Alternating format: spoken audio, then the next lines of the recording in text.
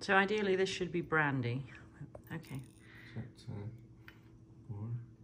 uh, it'll all just burn off.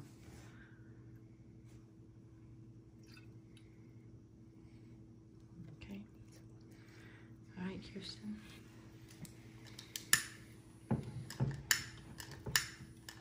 It just does it there. There you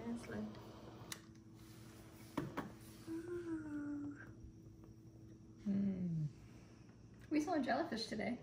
I don't know why that reminded me of a jellyfish.